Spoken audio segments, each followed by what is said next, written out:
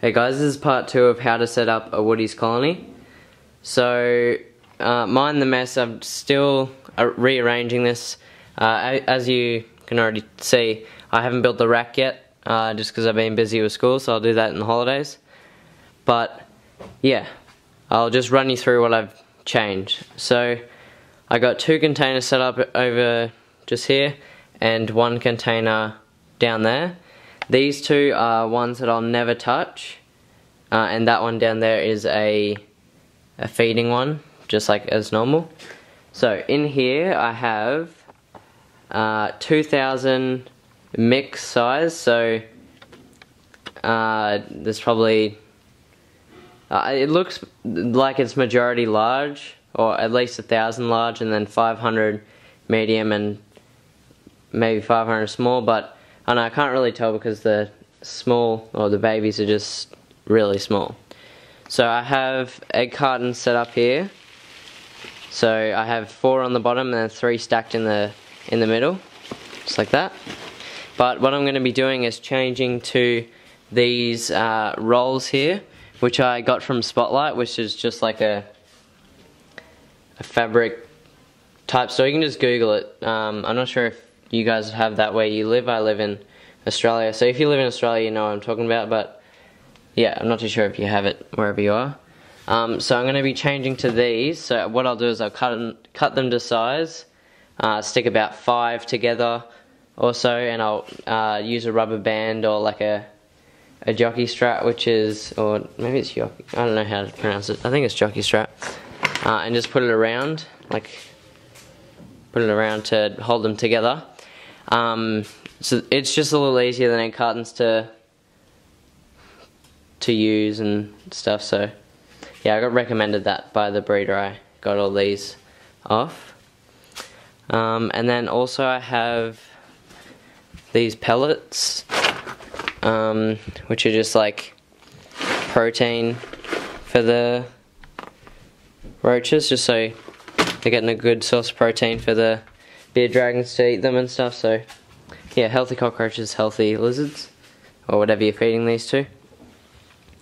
Um, and then carrot, obviously, just a source of moisture and food. As you can see, I put that in like two hours ago and they're already devoured a lot of it. Um, and then I just have the little protein, um, what are they called? Biscuits. and a little uh, protein things, um, just in a Vegemite lid. Um, so yeah, that's basically it. Uh, what I was told to do is, oh, sorry, the exact same as in this uh, container, just before I say anything else. Um, so what I was told to do was get 2,000 each uh, container, which I've done, and then not touch them for about three months and then what you can do is harvest them. Oh, well, by not touch them, I just mean not feed them. So what you have to do is you'd have to clear out all the dead roaches in there. You can see there's a few in there. Um, and then, yeah, I'll, I'll, have to do that soon. Um, but by not touch them, I mean just not feed them off.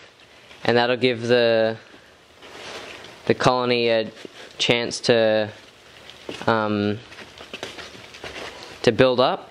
And then what you do is you'd harvest it so you'd maybe half it or something like that. I'm not sure exactly what I'll do yet but I'll see when the time comes.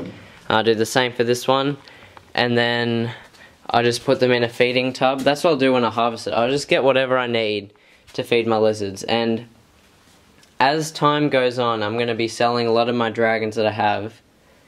Um, just because I've had a few clutches hatch, or six clutches hatch over the past few months, so I've got a lot of mouths to feed. Um, so yeah, eventually uh, I won't have to feed off as much. So this you probably won't need this many.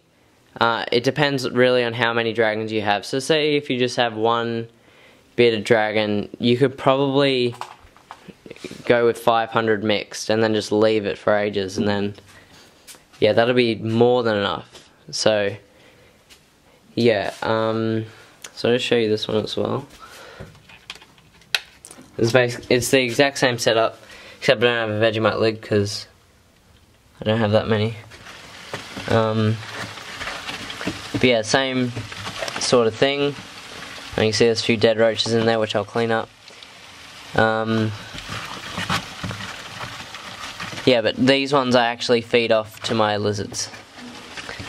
So, and also, um, the reason that I'd recommend the egg, uh, the the egg rolls, the uh, like toilet paper rolls or um, paper towel rolls, uh, would be it's a lot easier to get the actual cockroaches into a container filled with calcium because all you'd have to do is just bang it on the top. With these, you not many get in the crevices, and it's just a lot harder.